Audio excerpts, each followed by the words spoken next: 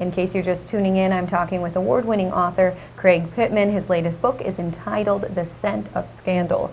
Now, Craig, what brings you here to Key West?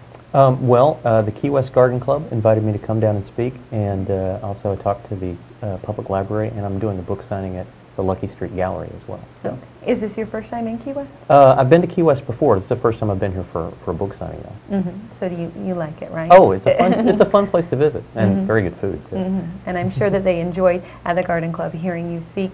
Now, Craig, I mentioned earlier that this isn't your first book. You've written some other books in the past. Yes, uh, the first book was called Paving Paradise, uh, Florida's Vanishing Wetlands and the Failure of No Net Loss.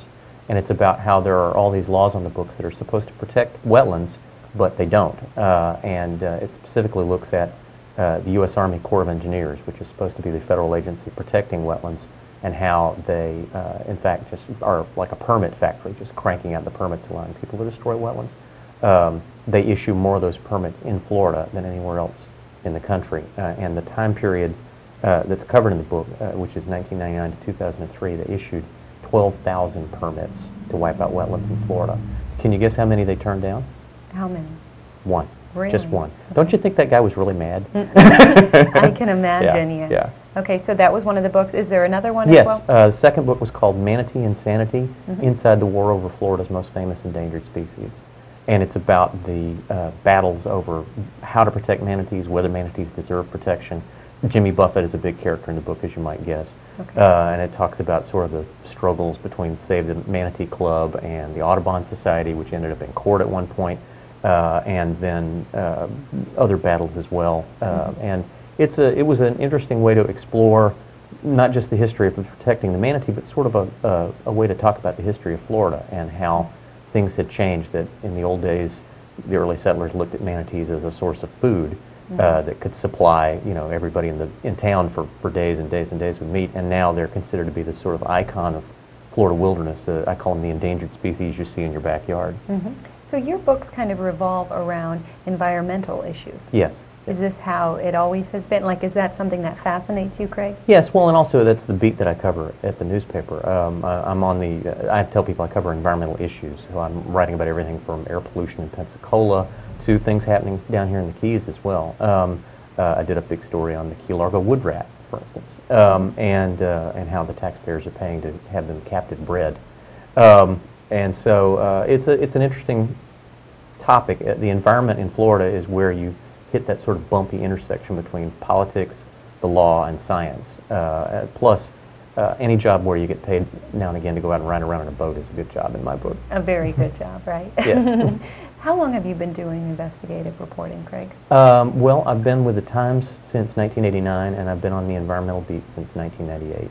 Okay, so you've been doing it for quite, I'm, quite a bit. I'm, I'm almost getting good at it, I think. If Oh, I stick with it a little longer, I might finally have mastered it. so. No, don't say that because you have been good at it for a very long time. In fact, I was reading up on you, Craig, and it was quoted that one of your professors at your university that you went to called you the most destructive thing on campus. Yeah, I'm not, I'm not sure he meant it as a compliment.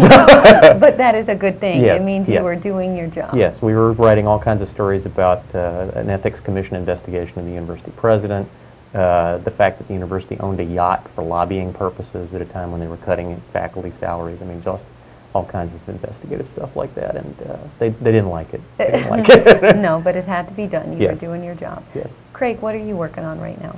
Um, I just had a big project published in the Times this past weekend uh, about springs, about Florida springs, and how they're this icon of Florida that uh, drew people to the state for, for decades, and now they're in big trouble. Um, some of the major springs, their flow has been reduced or even started flowing backwards because of overpumping of the aquifer.